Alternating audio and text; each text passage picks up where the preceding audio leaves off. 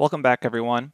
In this lecture, we're going to get an overview of the exercises for this section of the course. Then in the next lecture, we'll go through the solutions together. Let's get started with a quick overview of your exercise notebook. Okay, here I have open the Neural Network Exercises notebook. The very next notebook after this is, if you come back to ANN, it's Neural Network Exercise Solutions. So don't open up solutions yet unless you want to go through solutions, but this lecture is just an overview explaining the exercise questions, and in the next lecture we'll go through solutions. So a real quick important note, make sure you don't run the cells directly above the example output, otherwise you'll end up writing over the example output. And I'll show you what I mean by that in just a second. But basically, for these exercises, we're going to be performing a binary classification on the census income dataset available from the UC Irvine Machine Learning Repository. So you can click on this link to actually kind of check out the original source of the data, but we already downloaded it for you, so make sure you use the data source uh, that we provide for you. So here's an overview of the actual data itself. So there's an age column, sex column, education column, there's education number, so that number represents the education as an integer, so it's categorical, and will tell you whether something should be considered continuous or categorical. And you can keep going and check out, so there's a full description of the data set, so you can explore those. And at the end, um, you'll see here that there's an income label, whether or not an individual makes more than $50,000 annually, and then a label column where the income represented as an integer. So zero, less than or equal to $50,000, or one, greater than $50,000. So kind of, you have two labels. One is this kind of optional label, and then one is this label. So we performed the standard imports. We actually already filled that out for you. And we filled out the data income.csv. So if you're having trouble finding that income CSV file, just run this uh, neural network exercise notebook directly from its location, and it should load up automatically correctly. Then you can print out and explore the data frame a little bit. You can see here we showed the value counts. And then we get into the actual tasks at hand. So what we want you to do is separate the continuous, categorical, and label columns. So you should find there's five categorical columns, two continuous columns, and one label. So for the label, be sure to use the column named label and not income. So again, as I kind of described here, there was two columns that could be considered labels.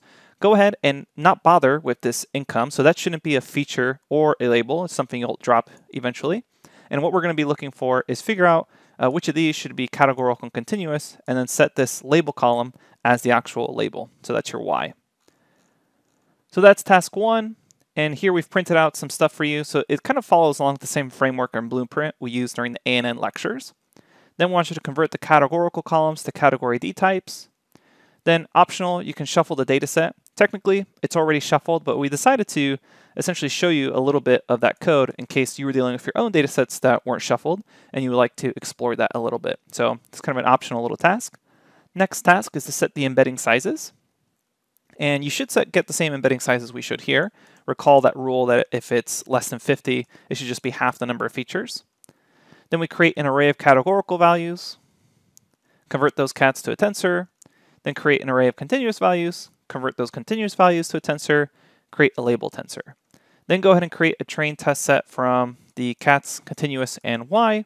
So this will look really similar to what we did in ANN. Then define the model class. So we've actually filled up a lot of this for you because essentially a lot of this is going to be just kind of copied and pasted from the ANN lectures that we did before. So we went ahead and filled this out for you in order for you to use it since we figured you would essentially just be kind of copy and pasting. But go ahead and make sure you truly understand what each of these lines are doing and you can review the video lectures. So technically this isn't going to be a task to fill out this tabular model. Instead, we made it flexible enough for you that it should be usable for any tabular data set. So here we can see a brand new tabular data set with the census data, and we can still use this same tabular model, which is really nice. All right, so I can go ahead and just run that. Then set the random seed, create an instance of the tabular model. You should kind of think carefully about the parameters. Then go ahead and define the loss and optimization function. Train the model, so we kind of have it set up here for you to train. And then go ahead and plot the cross entropy loss against the number of epochs. So we trained it here for 300 epochs. And then evaluate it against the test set. And then calculate the overall percent accuracy on that test set. So we got around 85.1% accurate or correct. So you should get that uh, kind of similar, maybe plus or minus 5% for your own test data set.